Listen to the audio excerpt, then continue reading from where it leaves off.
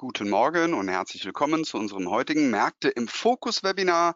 Mein Name ist Holger Fertig und ich bin hier bei der Societe Generale Produktexperte. Das heißt, Sie können mit mir über, ja, über Optionsscheine und Zertifikate reden, wenn Sie Fragen haben. Das heißt, rufen Sie uns an, wenn da Bedarf besteht. Ansonsten freue ich mich hier heute Ralf Fayad, unseren unabhängigen zertifizierten technischen Analysten, ähm, vorstellen zu dürfen. Und äh, wir werden uns heute Ihre Wunschwerte anschauen. Das heißt, wenn Sie den einen oder anderen Einzelwert haben, Rohstoff oder ja, Währungspaar, was auch immer, schreiben Sie es mir im Chat, im Chat und wir werden diese dann im Rahmen des Webinars charttechnisch beleuchten. So viel von meiner Seite. Ich freue mich, dass er da ist. Schönen guten Morgen, Ralf. Was hast du so für uns die Woche? Ja, schönen guten Morgen, Holger. Guten Morgen, liebe Zuschauer. Ähm, zunächst wie immer ein kleiner rechtlicher Hinweis. Diese Sendung dient ausschließlich Informationszwecken, stellt insbesondere keine Anlageberatung dar und Angaben zur bisherigen Wertentwicklung erlauben keine verlässliche Prognose für die Zukunft. Ja, und wie immer auch ein kurzer Blick zurück, was in der vergangenen Handelswoche hier äh, sich getan hat an den äh, Märkten. Wir sehen hier, ja, äh, hierzulande beim äh, DAX, beim Eurostox nicht viele Bewegung, auch beim chinesischen CSI 300 äh, äh, nicht. Die Musik spielte klar in den USA und hier angetrieben von den Technologiewerten und Chipwerten insbesondere. Ja, die Zahlen von Taiwan Semiconductor, die haben hier beflügelt und einige positive Analystenaussagen zum Thema KI und hier waren hier ganz klar Nvidia, AMD und Co. Ähm, die äh, Kurstreiber. Wir haben außerdem ja äh, insbesondere in den USA ganz gute ähm, Konjunkturdaten gesehen. Auch die Verbraucherstimmung der University of Michigan hat sich deutlich aufgehellt. Das äh, zeige ich gleich auch äh, an der äh, Tabelle. Ansonsten die Markterwartungen hinsichtlich der Leitzinssenkungen, die sind deutlich äh, zurückgekommen. also insbesondere natürlich, äh, was jetzt den äh, Zeitpunkt ähm, angeht. dazu habe ich dann auch äh, gleich noch äh, eine äh, Tabelle. Wir sehen hier ansonsten, ähm, ja, der Dollar äh, gestiegen, auch die Anleiherenditen sind gestiegen, also die Technologiewerte haben sich hiervon allerdings nicht negativ ähm, beeindrucken lassen. Wir haben ja, nachdem wir bei den äh, großen US-Indizes bereits äh, Allzeithochs äh, gesehen haben. Mit Ausnahme des S&P 500 haben wir in der vergangenen Woche jetzt äh, auch noch ein entsprechendes äh, positives Signal von diesem marktbreiten Index bekommen.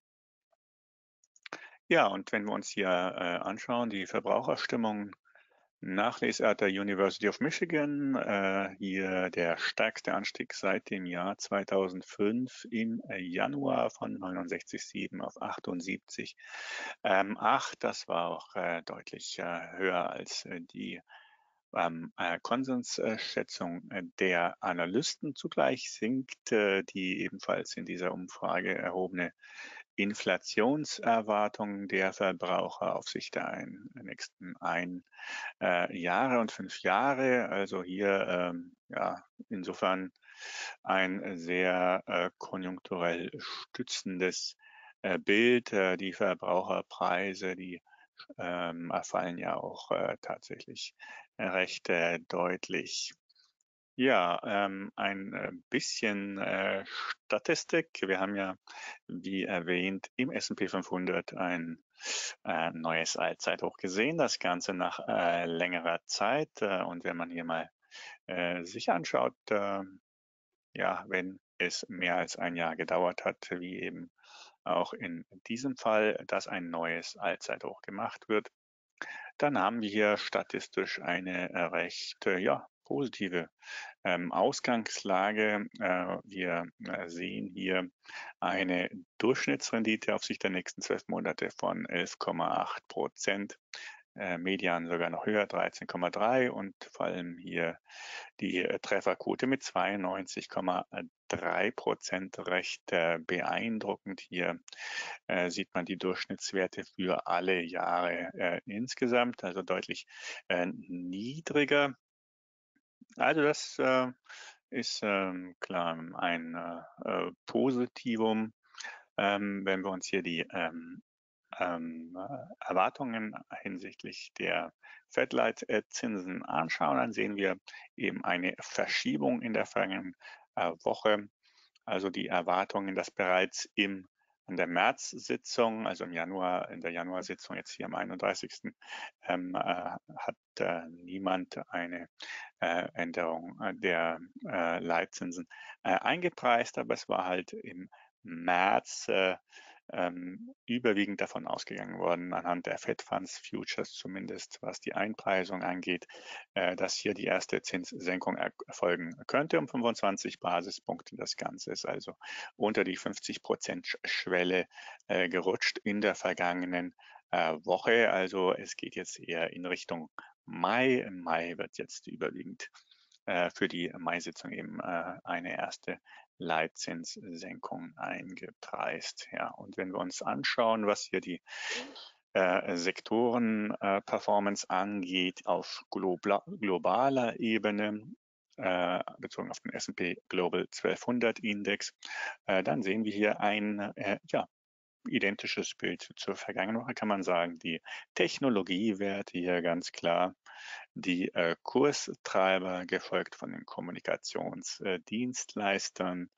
ja, und hier eher defensive oder auch zyklische Werte äh, ganz klar hier im Hintertreffen. Also wir haben hier eine sehr äh, gespaltene ähm, Entwicklung.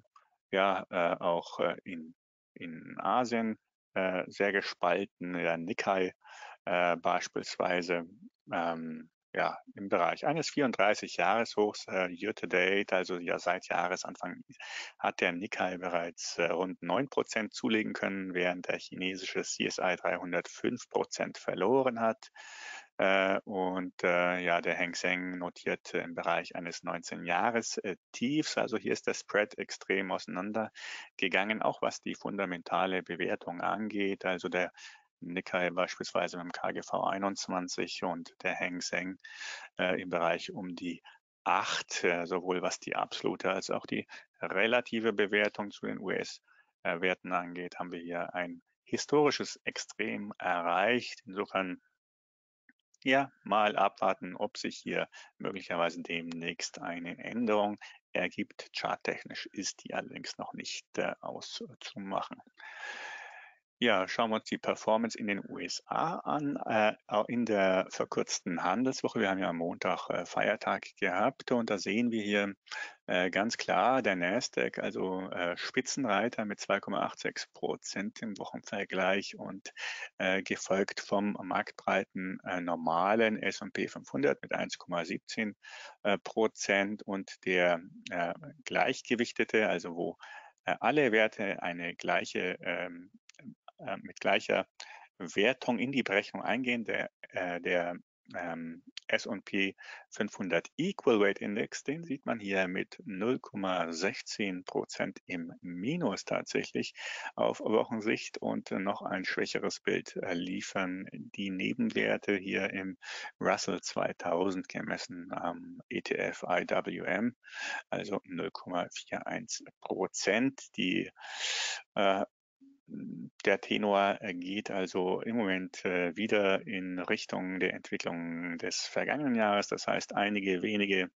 äh, Technologiewerte ziehen äh, die Märkte nach oben. Die Marktbreite ist schlecht und das ist aus der charttechnischen Perspektive ganz klar ein Negativum, das sich aber eben nicht unbedingt zeitnah auswirken muss, dass eine solche Entwicklung kann durchaus äh, eine Weile andauern, aber äh, es ähm, gibt hier nicht so in diesem Extrem nicht so viele historische Vergleichspunkte. Also 1999 hat man eine ähnliche Situation und 1973 mit dem Nifty 50 1999 waren es die Internet- und Telekom-Werte, wo wir eben eine so schlechte Marktbreite hatten und danach kam es dann eben zu einem Bärenmarkt mit äh, jeweils rund 50 Prozent Minus. Ja, schauen wir uns die Wahljahre nochmal an. Äh, wir haben ja eine äh, Präsidentschaftswahl in den USA äh, und abweichend vom normalen ähm, Zyklenverlauf, den normalen saisonalen Verlauf, sehen wir hier eine Schwäche, die sich insbesondere hier so im März herum bemerkbar macht und erst ab einem Tief eben im ersten Quartal sehen wir hier eine stabilere äh, Aufwärtsbewegung, bevor wir dann wieder eine klassische Herbstkorrektur erwarten dürfen und dann äh, nach der äh, Wahl, die in dem Jahr am 5. November, glaube ich, stattfindet, dann haben wir hier einen deutlicheren ähm, Rückenwind, wenn dann eben die Unsicherheit entwichen ist, wer denn nun der äh, neue oder alte äh, Präsident ähm, sein wird. Äh, und äh, wenn wir uns die Anlegerstimmung hier bezogen auf den DAX anschauen, gemessen von Animus X, sehen wir hier, dass die Stimmung doch deutlich zurückgekommen ist, weiter auf dem Rückzug, also die Anleger-Euphorie. Und äh, man muss allerdings sagen, wir sind hier noch nicht auf Niveaus, wo sich aus diesem Indikator heraus, also aus der Stimmungslage heraus, äh, aus ein, ein, ein Kaufargument äh, ergeben würde. Da müssten wir noch ein bisschen weiter fallen. Äh, zuversichtlich stimmt hier hier die mittelfristige Erwartungshaltung, die ist äh, zuletzt äh, deutlich wieder angestiegen. Also die Rückkaufneigung für den Fall von deutlicheren Rücksetzern ist äh, hier äh, angestiegen. Und ähm, ja, wenn wir hier noch eine ähm, einen weiteren Rückgang in der kurzfristigen Erwartungshaltung bekämen, dann könnte sich daraus durchaus ein ähm, antizyklisches äh, Kaufsignal ergeben aus der Sentiment, äh, von der Sentiment-Seite. Ähm, ideal wäre es natürlich, wenn wir hier ja äh, eine entsprechende ähm, Fortsetzung auch preislich der äh, Korrekturbewegung sehen würden. Das würde dann eben ähm, hier schön zusammenpassen, sowohl von der preislichen als auch von der zyklischen Seite. Ja, wenn wir uns die Trading-Termine anschauen äh, in der laufenden Woche, ja, wir haben heute schon äh, wieder äh, die PBOC gehabt, die hat die Loan Prime Rate bekannt gegeben, also einen äh, der vielen Leitzinsen, äh, das ist also die ähm, ähm, äh, der Zinssatz, zu dem die, die Banken in äh, China hier ihre Kredite vergeben, wie erwartet, äh, gab es hier keine äh, Veränderung. In der vergangenen Woche hatte äh, waren ja schon die MLF, äh, der Leitzins MLF hier. Äh, das war dann allerdings eine Überraschung nicht gesenkt worden. Also die äh, PBOC, die Chinesen, die halten sich weiter zurück. Die erhoffte Bazooka äh, geldpolitisch, äh, die bleibt aus. Also die ähm, Konjunkturdaten sind ja nicht allzu rosig und insofern ist die Hoffnung und Erwartung auch teilweise vieler Analysten eben, dass da mehr kommt, äh, was dann eben hier dem äh, der Konjunktur dann ein bisschen äh, Rückenwind verleihen würde. Aber wie gesagt, bislang eher bescheiden, was da kommt. Ja, wir haben ansonsten äh, am, am, Mittwoch die Einkaufsmanager-Indizes von S&P äh, Global im Fokus äh, für die Eurozone Großbritannien und auch für die USA. Da wird der ISM-Index nicht veröffentlicht in dieser Woche. Deswegen blicken die Anleger da sicher auf die entsprechenden PMIs von S&P Global etwas ähm, genauer. Ach ja, die noch erwähnenswert, Bank of Japan mit der Zinsentscheidung. Also die, der Marktkonsens ist, dass hier also nichts kommt ähm, und erst äh, im weiteren Verlauf, insbesondere für die März-Sitzung, wird dann eine Leitzinsanhebung äh, erwartet äh, und das könnte dann durchaus entsprechende Implikationen auch für den Yen und für den Carry Trade äh, haben, wenn hier ein äh, großer äh, Pivot der Bank of Japan erfolgt. Ja, am Donnerstag dann der IFO Geschäftsklima-Index, also der wichtigste konjunkturelle Frühindikator. äh, für den Januar im Fokus, die EZB-Zinsentscheidung, dann natürlich auch äh, sehr wichtig. Auch hier wird nicht mit einer Änderung der Geldpolitik gerechnet, aber mit Hinweisen und auch eben im Vorfeld natürlich bei der Sitzung selbst mit einer Diskussion, wann denn nun die ersten Leitzinssenkungen kommen ähm, könnten. Also die äh, Aussagen der Notenbanker sowohl von der EZB als auch von der Fed gingen äh, zuletzt klar dahin, äh, ja, die Erwartungen auch zeitlich ein bisschen nach hinten zu schieben, vielleicht dann äh, für äh, das äh, dritte Quartal. Ja, wir haben dann noch die BIP-Daten, die ersten für das vierte Quartal aus, äh, aus den USA, die wöchentlichen Erstanträge auf Arbeitslosenhilfe, die auch in der vergangenen Woche wieder positiv überrascht haben mit einem recht niedrigen Wert. Und dann die persönlichen Ausgaben und Einkommen in den USA für den Dezember. Wichtiger da ist äh, allerdings äh, die gleichzeitig veröffentlichten Inflationsdaten, also der PCE-Deflator, der sogenannte PCE-Preisindex, der das favorisierte Inflationsmaß der Notenbank FED darstellt. Ja, dann von der Unternehmensseite, ja, wir haben aus dem DAX in dieser Woche die Zahlen von SAP und Sartorius. Ansonsten stehen hier, denke ich, insbesondere die Technologiewerte, die ersten Netflix, Texas Instrument, dann natürlich auch Tesla im Fokus, ASM Holding, ein weiterer wichtiger Chipwert und mit Intel natürlich ebenfalls hier die Chipwerte und mit ST Microelectronics im Fokus.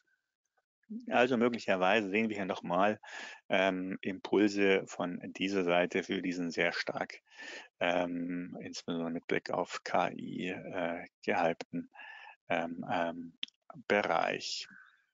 Ja, dann äh, gehen wir in die ähm, äh, technische Analyse und wie immer fangen wir hier mit dem DAX im Wochenchart an, also das Big Picture und wir sehen hier diese seitwärts, leicht abwärts gerichtete Korrekturphase unterhalb des Rekordhochs hier bei 17.000 und drei Punkten hielt auch in der vergangenen Woche an. Wir haben ja ein neues Mehrwochentief äh, markiert, konnten uns aber von den Tiefs deutlich absetzen und ja, was positiv zu ähm, bemerken ist, ist, dass wir dieses alte Rekordhoch hier bei 16.529 äh, zumindest per Wochenschlusskursbasis bislang äh, im Rahmen dieser Seitwärtskorrektur verteidigen konnten. Knapp darunter haben wir das 23,6 Prozent Fibonacci Retracement dieser impulsiven Aufwärtswelle.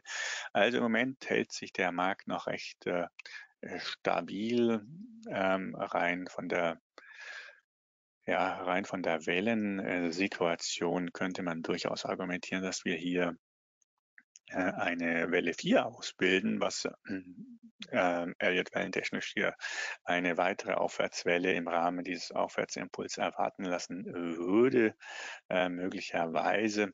Also da bräuchten wir allerdings hier ein neues Hoch äh, über 17.003 und idealerweise über 17.045, dann hätten wir eine Bestätigung, dann würde hier bereits diese nächste mittelfristig ähm, interessante Zielzone äh, in den Fokus rücken, die 17.500 bis 18.000 Punkte. Sollten wir es tatsächlich zeitnah erreichen, dann äh, wäre hier spätestens äh, an dieser Stelle äh, mit einer Schwächephase, mit einer deutlicheren dann zu rechnen. Sollten wir hingegen jetzt hier äh, diese Seitwärtskorrektur etwas auf der Unterseite dynamisieren zu einer äh, normalen, in Anführungszeichen, Abwärtskorrektur, äh, dann äh, würde hier insbesondere das 38,2 Fibonacci Retracement dann in den Fokus rücken bei 16.097 Punkten. Das wäre eine äh, plausible nächste ähm, ähm, relevante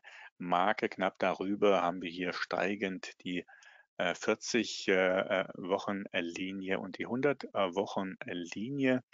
Also das ist dann hier auch nochmal eine wichtige ähm, Auffangregion. Aus heutiger Sicht muss man klar sagen, sagen also jeder äh, Rücksetzer hier im ersten Quartal ist aus aktueller Sicht eben eine äh, potenzielle Chance hier auf der Long-Seite nochmal in die Korrektur hinein, äh, zumindest dann auf einen nochmaligen Test dieser äh, aktuellen Widerstandsregion oder eben äh, sogar auf eine Ausdehnung der Rallye hier äh, in Richtung 17.5 bis 18.000 zu spekulieren, sollten wir hingegen signifikant unter die entsprechenden Marken rutschen, also unter die 40-Wochen-Linie, die eben äh, der 200-Tage-Linie äh, entspricht, ähm, dann wäre eine Neubewertung ähm, der äh, Situation erforderlich. Ja, der Tageschart hier, da sehen wir ähm, diese äh, korrektive Abwärtstrendlinie, die könnte heute möglicherweise attackiert werden. Wir sehen hier, äh, am Freitag hat diese Erholungsrallye vom Tief äh, vom äh, Mittwochstief äh, ihren Widerstand gefunden an der 20-Tage-Linie und per Tagesschluss gelang es auch nicht, diese Abwärtslücke hier zu überwinden vom 16. Januar.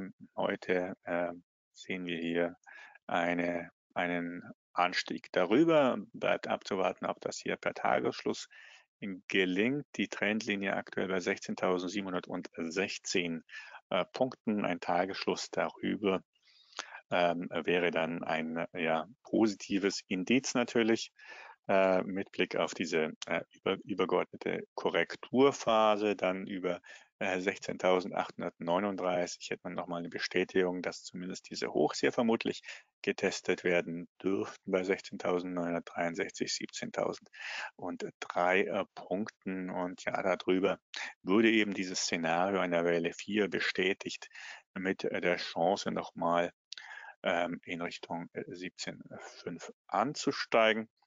Ähm, also hier ist äh, das letzte Wort noch nicht gesprochen, dürfte sich aber vermutlich in dieser Woche herauskristallisieren, äh, ob hier der DAX es äh, den US-Märkten ähm, gleich tun kann. Ja, schauen wir uns als nächstes den ähm, Dow Jones ähm, Index an. Auch hier haben wir am Freitag ein ähm, einen Ausbruch äh, gesehen, also nicht nur beim S&P 500, also ein neues Allzeithoch hier.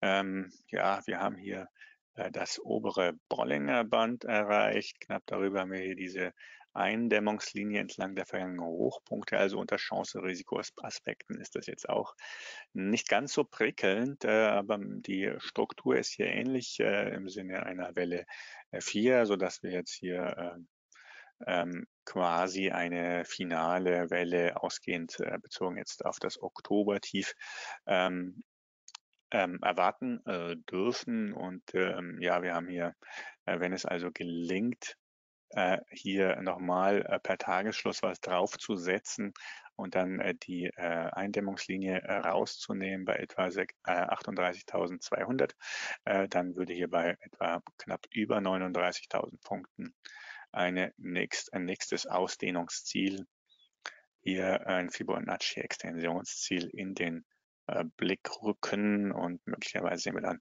an dieser Stelle den äh, typischen äh, Rücksetzer beginnen in Richtung ähm, eines äh, Tiefs im Februar, März.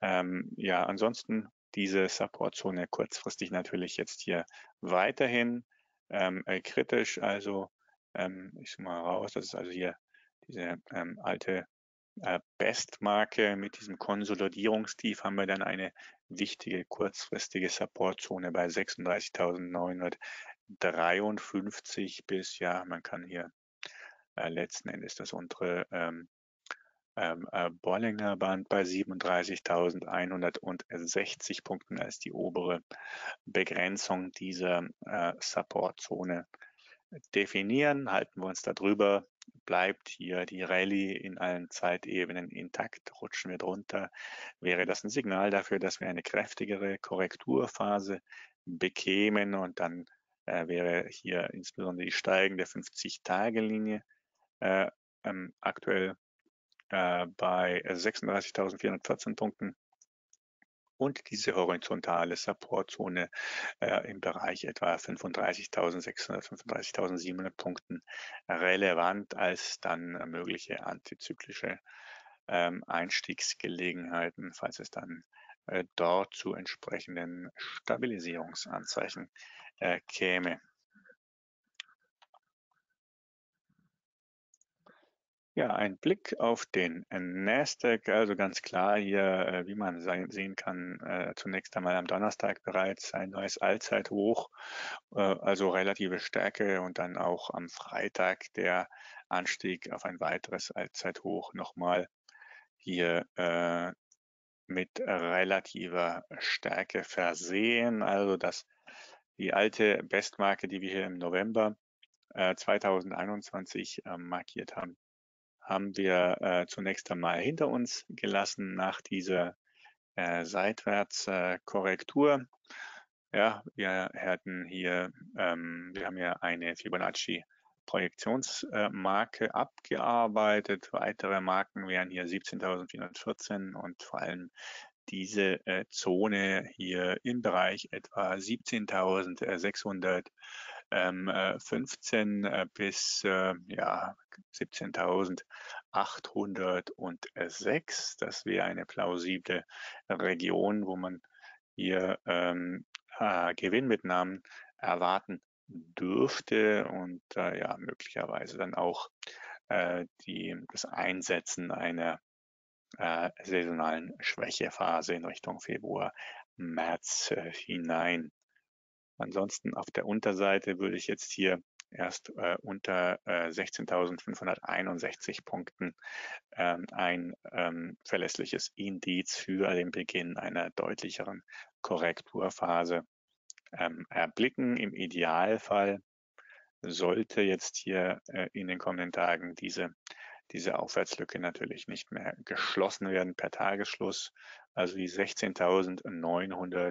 16.997 Punkte Tagesschluss darunter wäre als Warnsignal aufzufassen, dass das hier möglicherweise ähm, ein äh, zumindest temporäres Top, ein temporärer Hochpunkt gewesen sein könnte. Aber wie gesagt, hier eine verlässlichere Bestätigung hätten wir erst, wenn äh, diese ähm, Aufwärtstrendlinie und insbesondere das Reaktionstief eben bei 16.561 gebrochen werden würde. Auch in dem Fall wäre dann die 50-Tage-Linie steigend aktuell bei 16.283 Punkten von ähm, Interesse als mögliche äh, nächste Auffangregion.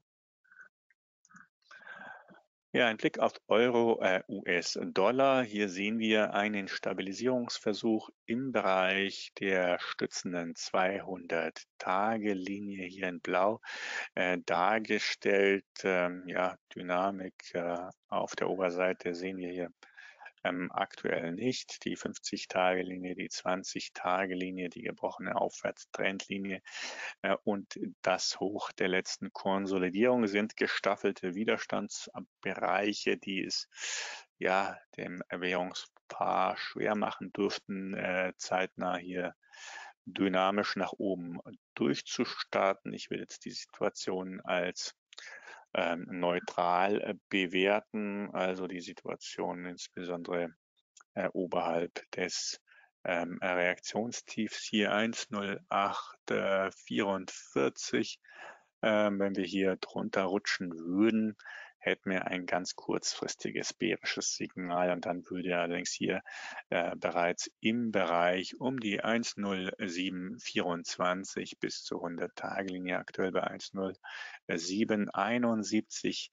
Das wäre dann hier ähm, die zu erwartende nächste Zielregion und hier wäre dann auch äh, im Zweifel davon auszugehen, dass Kaufinteresse wieder reinkäme, dass also die Leute, die hier kurzfristig äh, dann die Shortseite gespielt haben, ihre Gewinne mitnehmen und dann wäre entsprechend zumindest ein Bounce wahrscheinlich.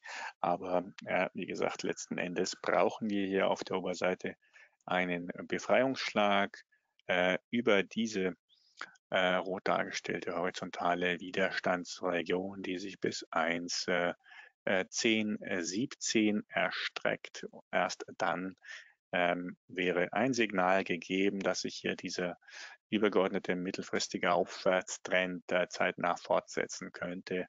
Dann natürlich mit einer einem nächsten Ziel hier äh, im Bereich äh, knapp unter 1,11 ähm, äh, bis auf 1,1150 etwa.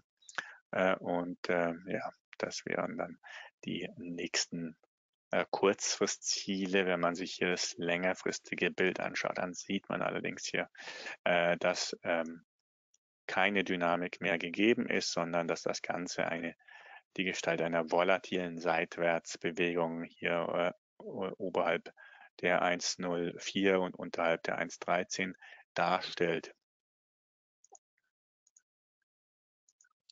Ja, blicken wir auf den Goldpreis. Also hier ähm, ja, Gold äh, im äh, Verhältnis zu den anderen Edelmetallen noch recht äh, stabil, aber äh, mit Blick auf die doch äh, eigentlich sehr äh, positive saisonale Phase bei den Edelmetallen muss man ganz klar das Ganze als Enttäuschung verbuchen. Ein gewisses, ein gewisse Anhaltszeichen dafür, dass sich die positive Saisonalität hier möglicherweise nicht äh, unmittelbar durchsetzt, ähm, haben äh, die Sentimentdaten bereits äh, geliefert. Also der Optimismus sowohl in Gold als auch äh, Silber war hier äh, recht hoch und das hat sich auch noch nicht so ganz ähm, abgebaut. Also insofern muss man einplanen, dass wir noch möglicherweise äh, eine Etage tiefer fallen könnten in Richtung der 200 Tagelinie, die ist aktuell bei 1963 und bildet hier eine äh, Zone, äh, die bis etwa 1978 US-Dollar geht. Also das wäre dann wieder eine interessante Auffangregion. Wir sehen hier diese dieser Support wurde temporär unterschritten, äh, aber hier wieder zurückerobert. Diese Zurückeroberung allerdings nicht recht äh, von äh, Dynamik geprägt. Wir sehen hier die gleitenden Durchschnittslinien auch eher seitwärts tendierend, also die 20 und die 50 äh, Tage Linie. Insofern ähm, ähm, lässt sich hier nichts ableiten in Richtung explosiver Kursanstieg oder dergleichen. Wir müssten hier diese äh, Widerstandsregion knacken, also die 2064 bis 2088. Äh, dann hätten die Bullen wieder das Ruder übernommen. Dann wäre natürlich hier das Intraday-Rekordhoch im Bereich 2136 US-Dollar wieder äh, auf dem Schirm und äh, darüber hinausgehend haben wir hier noch offene Extensionsziele. Wie gesagt, die bleiben aber erst einmal äh, in der Schublade, solange wir diese Hürde nicht äh, genommen haben. Äh, und auf der Unterseite, wie gesagt, äh, wäre es natürlich schön zu beobachten, wenn wir jetzt hier nochmal eine, eine Fortsetzung dieser äh, korrektiven Abwärtsbewegung sehen, dass sich dann, ähm, wenn die Kurse äh, beziehungsweise falls die Kurse hier äh, diese Zone erreichen würden, dass dann auch die Sentimentwerte sich entsprechend abgekühlt hätten. Äh, das würde dann etwas zuversichtlicher stimmen, dass äh, mit etwas Verspätung dann äh, noch einmal äh, die positive Saisonalität in Richtung Februar hin sich durchsetzen kann. Ja, blicken wir als letztes auf den Brennölpreis und dann äh, nehmen wir die Wunschwerte rein. Also hier nicht äh, viel passiert. Äh, also wir sehen die geopolitischen Spannungen haben hier nicht zu einem Befreiungsschlag geführt. Wir haben hier massive Widerstandsthemen auf der Oberseite. Würden wir die nehmen, was möglicherweise aber nur mit ja, äh, entsprechenden äh, spektakulären Maßnahmen oder geopolitischen Entwicklungen äh, passieren dürfte, dann äh, wäre hier noch einmal deutlicheres mittelfristiges Aufwärtspotenzial gegeben, also insbesondere über 84,51 Dollar. Ähm, ansonsten bleiben wir hier noch äh, volatil seitwärts und damit neutral.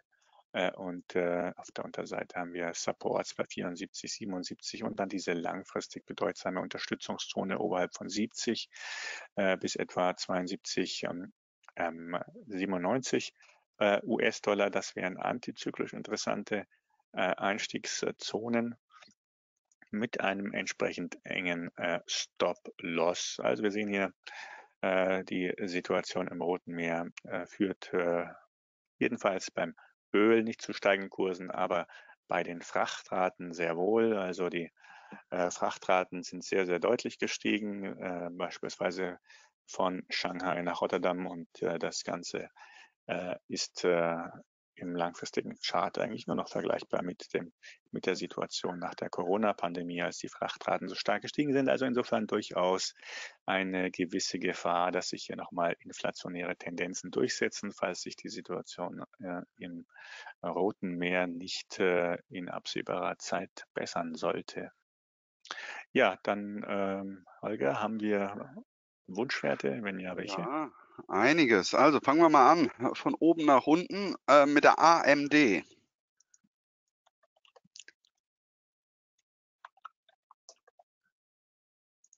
Also die Advanced Micro Devices und ja, dann kann hier unschwer sehen, ich zoome mal ein bisschen raus, dass wir hier auch äh, hier in der vergangenen Woche ein neues Allzeithoch markieren konnten. Also wir hatten hier äh, die Bodenbildung ebenfalls äh, seinerzeit im Oktober 2022. Äh, der erste Aufwärtsschub äh, war dann hier bis auf die, das letzte Teilsegment noch relativ äh, schwach ausgeprägt. Dann hatten wir diese bullische Keilformation, die hier aufgelöst wurde und damit ein Kaufsignal getriggert wurde.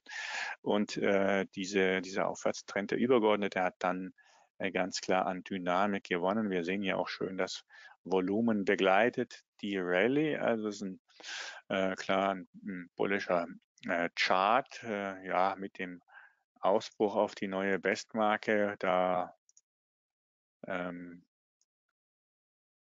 könnte man anfangen, äh, von einer Nachhaltigkeit zu sprechen, vom preislichen Ausmaß her. Äh, was die Überwindung des alten ähm, Rekordhochs angeht. Also bis dato keinerlei Anzeichen ähm, irgendeiner ähm, äh, Schwäche. Äh, schauen wir uns mal vielleicht den, den Wochenchart an. Äh, dann können wir an der Stelle mögliche ähm, Extensionsziele ähm, ausmachen. Da nehmen wir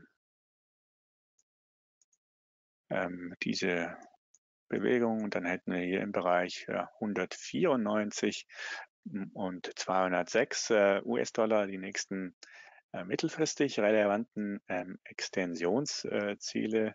Wir könnten an der Stelle hier auch noch äh, Fibonacci-Projektionen fruchtbar machen, wenn wir hier diese äh, aufwärts, diese erste Aufwärtswelle nehmen. Die 100 Prozent haben wir jetzt äh, knapp äh, überschritten und dann hätten wir hier mit dem 161 Prozent Projektionsniveau bei 220 US-Dollar eine weitere mögliche äh, mittelfristige äh, Zielzone.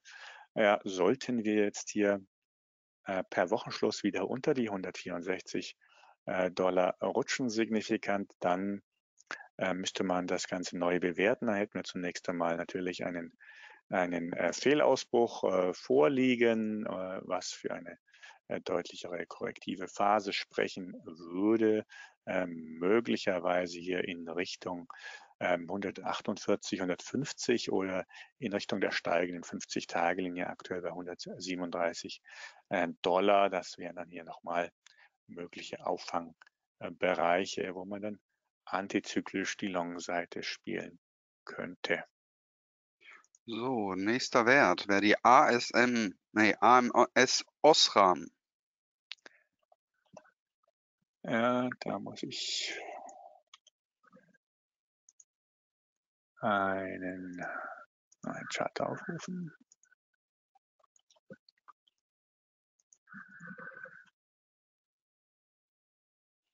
Also, das ist hier ja, Schwarzenegger Max. Ja. Machen wir nicht, nehmen wir Frankfurt.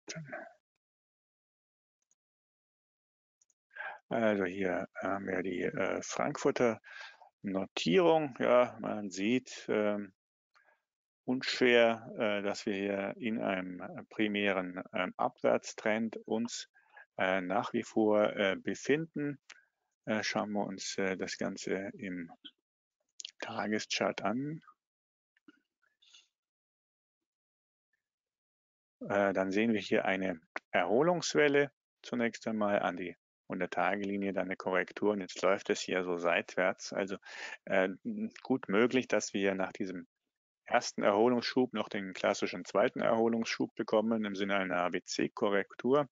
Äh, dann wäre hier die, der Bereich der 200-Tage-Linie durchaus äh, plausibel äh, als äh, mögliche Zielzone. Da haben wir auch hier horizontale äh, Widerstandsthemen vorliegen. Also möglicherweise eine Bewegung in Richtung 236 bis 285.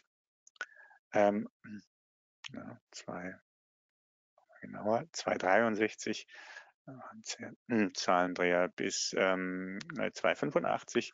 Das Ganze, wenn sich hier diese ähm, ja, dreiecksförmige Konstellation nach oben auflöst. Also da wäre ähm, aus meiner Sicht jetzt ein Tagesschluss über der 100-Tage-Linie so ein erstes Indiz dafür, wenn das Ganze mit steigendem Volumen einhergeht. Ähm, also die 2,25 Euro per äh, Tagesschluss geknackt werden kann mit steigendem Volumen, dann wäre das hier ein erstes Indiz dafür. Bestätigt wäre das Ganze über 2,45 Euro und sollten wir hier hingegen unter ja, unter das äh, Reaktionstief hier bei 1, 1,95 Euro, 1,96 Euro rutschen per Tagesschluss, dann äh, wäre zu vermuten, dass es hier nochmal zu einem Retest der Tiefs zunächst einmal kommt bei 1,43.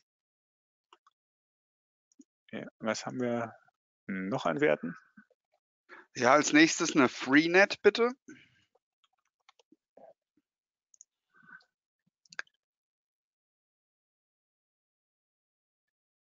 Ja, also Freenet hier äh, zuletzt äh, durchaus äh, mit äh, Stärke vom Tief hier im August bereits äh, einen Aufwärtstrend etabliert. Wir sehen hier allerdings mit Blick auf das längerfristige Chartbild eine wichtige Widerstandsregion hier im Bereich um die 26 äh, bis 27 Euro. Man kann hier noch diese ja, diesen Durchbruchspunkt äh, mit äh, dazu nehmen, der hier dieses äh, diesen äh, Doppeltop hier äh, bestätigt hat, also 27,65 etwa ähm, diese Widerstandszone ähm, kann man sagen, steht aktuell unter Beschuss. Ich würde an der Stelle ja, abwarten wollen, ob hier ein Durchbruch gelingt. Äh, falls ja, haben wir natürlich im übergeordneten äh, Chartbild ein ähm, Anschlusskaufsignal äh, mit entsprechendem äh, Potenzial. Ich nehme das mal hier raus. Schauen wir uns nochmal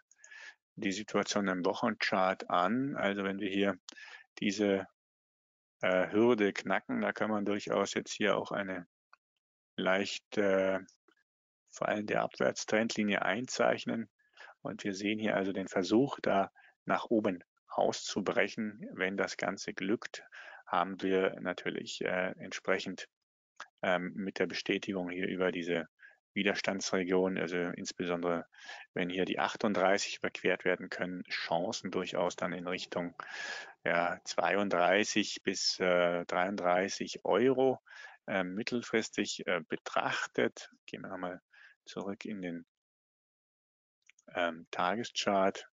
Äh, da kann man jetzt an der Stelle, wenn man jetzt äh, äh, ganz mutig sein möchte und hier diesen Ausbruch ähm, handeln möchte, dann ähm, würde ich an der Stelle unter der 50-Tage-Linie und diesem äh, Konsolidierungstief hier bei 25,54 Euro äh, per Tagesschluss die Reißleine ziehen. Also wenn das Ganze hier per Tagesschluss unterschritten würde, die 50-Tage-Linie insbesondere, dann ähm, müsste man unterstellen, dass es zu einer kräftigeren Korrektur käme ja vermutlich äh, zunächst einmal in Richtung 24,62 und äh, dann äh, hier in Richtung der steigenden 100-Tage-Linie aktuell bei 24,19 Euro. Das wären dann die potenziellen Auffangregionen, wo man dann ja, hier sich nochmal auf die Lauer legen könnte, antizyklisch auf der Long-Seite mit einem dann engeren äh, Stop-Loss. So, eine Adobe als nächstes. Der, der, Teilnehmer hätte zwar gern mehrere Wünsche, aber ja, wir lassen nur immer einen Wunsch pro Person zu. Ansonsten wäre das nicht ganz fair. Okay, also Adobe. Ähm, haben wir auch. Und äh, da sehen wir hier äh, diese Widerstandszone wurde schon geknackt. Das können wir mal hier rausnehmen und dann ähm, das ist auch nicht mehr ganz aktuell. Also wir sehen hier ganz klar auch äh, bereits äh, seit dem Oktober, ja, hier sogar September tief, wenn ich das richtig sehe, 2022 einen intakten Hosse-Trend, haben aber noch nicht die alten Allzeithochs hier rausgenommen. Also wir sehen hier ähm, zuletzt ein Pullback an die steigende 100-Tage-Linie, die hat gehalten. Also das würde ich jetzt hier mittelfristig äh, als Reißleine nehmen. Dieses Tief hier, äh, 563,34 Dollar, da sollte man nicht mehr drunter rutschen. Äh, für das Szenario, dass sich hier der Aufwärtstrend zeitnah fortsetzt und wir haben hier äh, insbesondere im Bereich 650, 653 eine nächste Zielregion. Ähm, mal das nochmal rein hier. Also nach dieser dreiwilligen Korrekturphase, die wir jetzt hier möglicherweise nach diesem Inverted Hammer Kaufsignal hinter uns äh, gelassen haben. Äh, am Freitag hier nochmal durchaus ähm, ein, ein Anschlusskaufsignal äh, mit dem Ausbruch insbesondere hier äh, über die 50-Tage-Linie signifikant. Jetzt haben wir natürlich einen kleinen Widerstand äh, bei 618,03 Dollar, die Oberkante dieser Absatz. Lücke. Wenn wir hier per Tagesschluss drunter schließen, haben wir ein Anschlusskaufsignal, dann 633,89 als nächstes Ziel.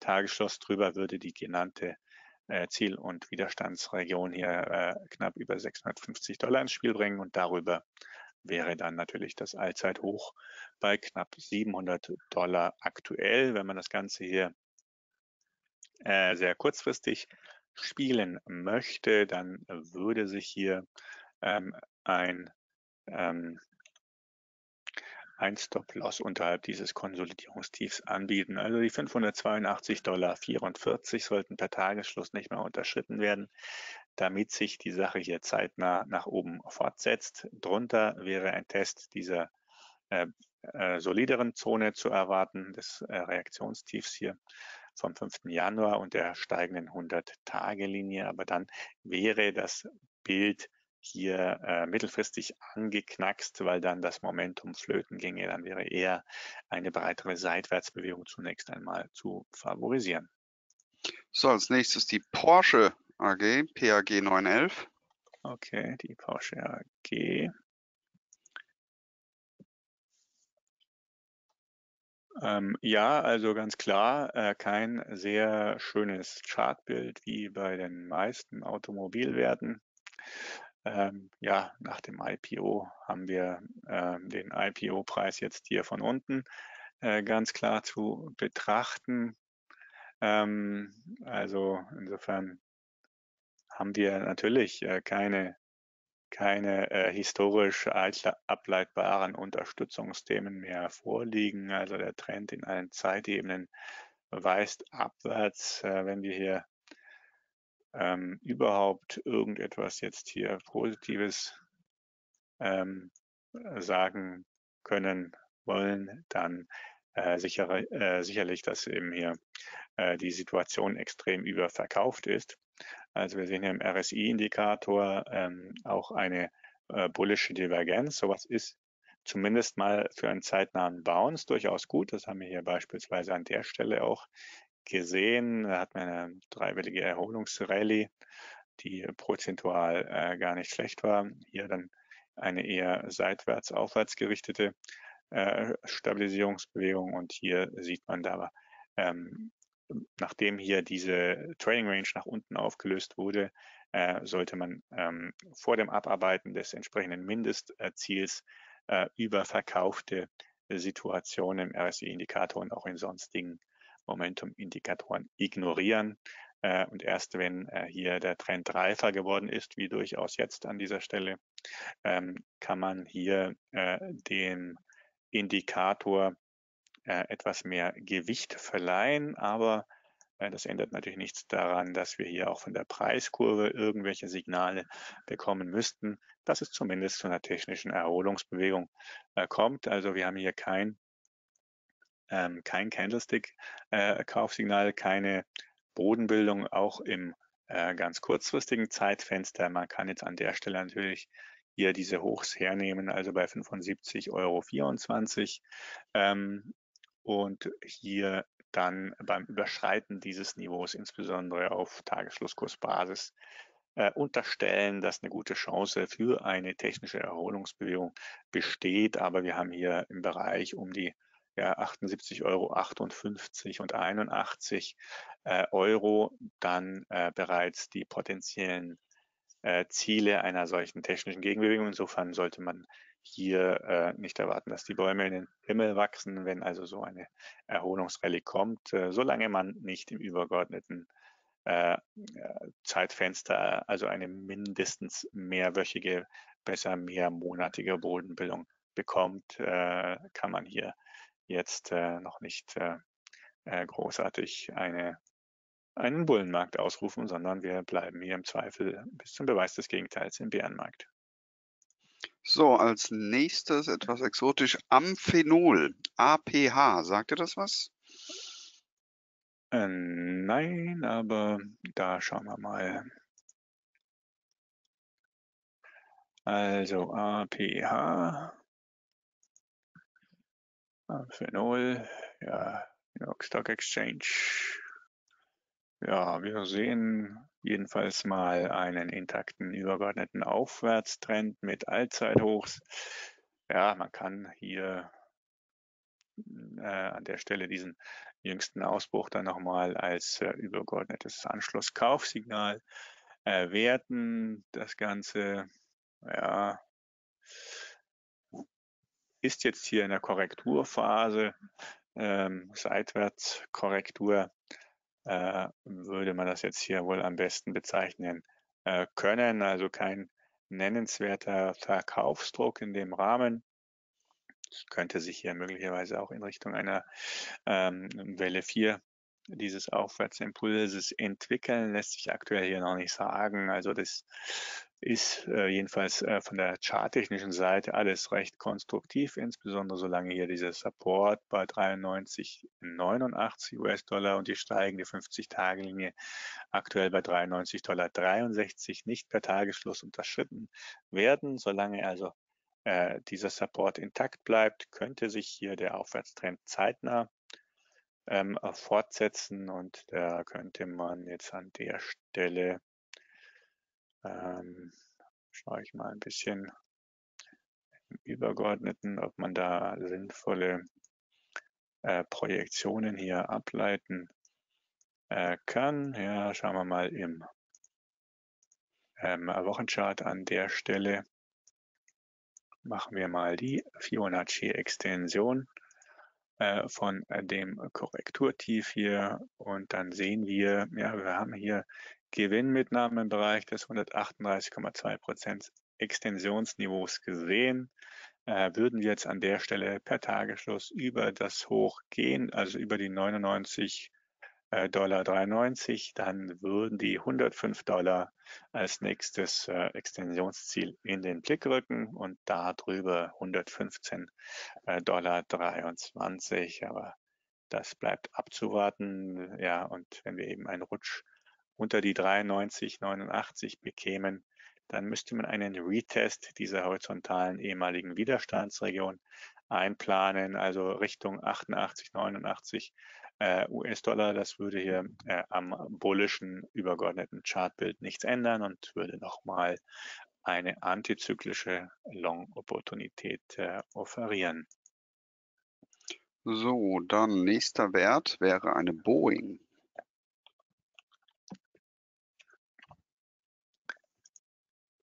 Die Boeing hat ja ein bisschen federn lassen ähm, müssen und damit auch ein bisschen zeitweise den äh, DAO belastet. Ähm, wir sehen hier mit den negativen Nachrichten, äh, die wir hier von äh, Seiten wegfliegender Flugzeugtüren bekommen haben, eine kräftige Abwärtskorrektur.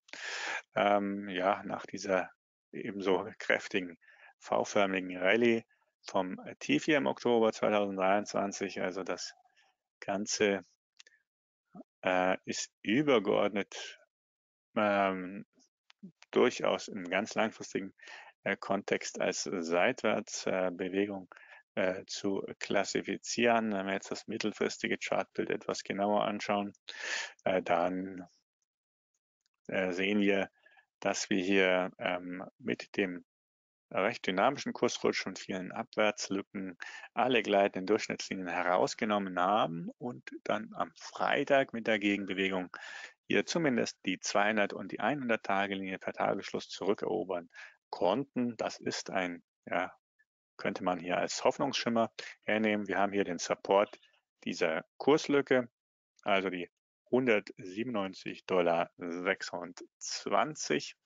Ähm, relevante Marke für etwaige antizyklische Long-Positionen. Hier würde ich äh, einen Tagesschluss unter dieser Kurslücke äh, als Reißleine, als Reißleinensignal äh, sehen. Also darunter müsste man äh, mit einem Retest des Tiefs hier bei 176 Dollar äh, rechnen.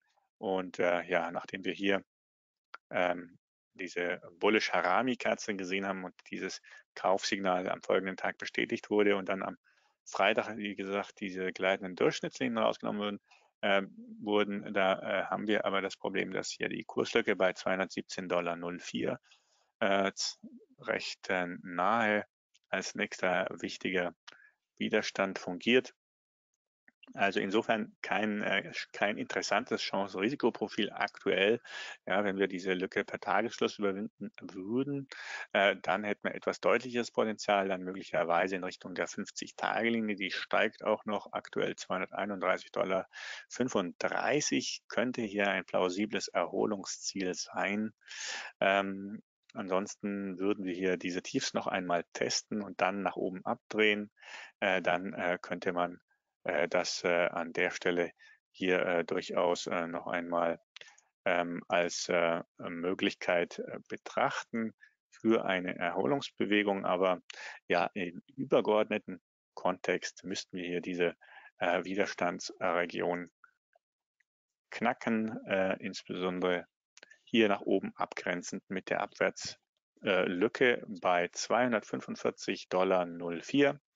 Also da brauchen wir einen Tagesschluss darüber. Dann äh, hätten wir die Chance, zeitnah nochmal in Richtung 267 und eventuell dann anschließend auch nochmal hier in Richtung dieses Rallye-Hochs vom März 2021 bei rund 279 äh, US-Dollar zu laufen.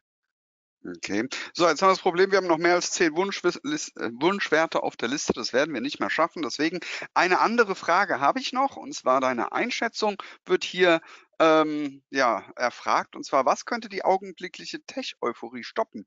Und wann ist eine Korrektur zu erwarten? Vielleicht das zum Abschluss heute. Ja, was könnte die Tech-Euphorie stoppen? Naja, äh, gibt, da lassen sich natürlich viele Dinge äh, äh, ausdenken, die man jetzt, an die man jetzt vielleicht äh, an der Stelle äh, jetzt noch nicht denkt. Ja, also ähm, natürlich auch negative Zahlen von den äh, Tech-Werten, die ja jetzt dann äh, die nächsten Wochen hereinkommen. Wir haben ja einige Chip-Werte mit äh, Zahlen, auch äh, Intel und ähm, ja, irgendwelche Aussagen in der Richtung.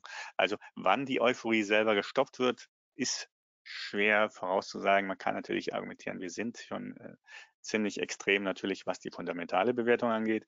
Wir sind äh, von der Sentiment-Situation etwas zurückgekommen von den äh, letzten Euphorie-Hochs. Ähm, also durchaus vorstellbar, dass sich das Ganze hier noch ähm, äh, fortsetzt. Ich habe vorhin einen Zyklenchart gezeigt. Das ist durchaus ähm, ähm, plausibel im Rahmen der zyklischen Entwicklung, dass, ähm, dass dieses Jahr hier insgesamt nicht negativ endet, äh, wenn auch äh, möglicherweise nicht so äh, stark positiv äh, mit Blick jetzt auf andere Statistiken wie die ersten fünf Jahre, äh, fünf Jahre, fünf Tage im Januar. Also dieser, dieses Barometer lässt eher erwarten, dass wir zwar positiv vielleicht schließen, aber nicht so wahnsinnig im Plus am Ende, so dass man durchaus ähm, rechnen kann, dass hier vielleicht äh, diese typische Saisonalität im ersten Quartal durchschlägt und äh, was dann der Anlass sein könnte, ähm, das ist äh, an der Stelle natürlich äh, schwer zu sagen. Also wie gesagt, Quartalszahlen können es sein, irgendwelche ähm, nochmal Schwierigkeiten, was jetzt äh, die äh, Ausfuhrbeschränkungen von, von Chip-Technologie angeht, für irgendwelche Verschärfungen möglicherweise ähm, wären denkbar. Ähm, ansonsten ja, kann man nur sagen, dass das Gummiband ist natürlich extrem gespannt, ähm, ähm, was letzten Endes dann zum, zum, zum Zurückschnappen führen wird und wann das genau sein wird, lässt sich an der Stelle äh, noch nicht sagen. Wie gesagt, zyklisch sehr wahrscheinlich äh, innerhalb des ersten Quartals ein deutlicher Rücksetzer, dann nochmal im Herbst ein deutlicher Rücksetzer, möglicherweise dann aber erst im nächsten und übernächsten Jahr die, die größere äh, Trendwende ähm, ähm, denkbar. Also charttechnisch lässt sich hier jedenfalls noch nichts ähm, Negatives ableiten. Super. Danke für die Einschätzung, Ralf. Und ja, vielen Dank, dass Sie dabei waren. Vielen Dank, dass du dir die Zeit genommen hast. Und ja, ich wünsche Ihnen einen guten Start in die Handelswoche. Bis zum nächsten Mal. Tschüss.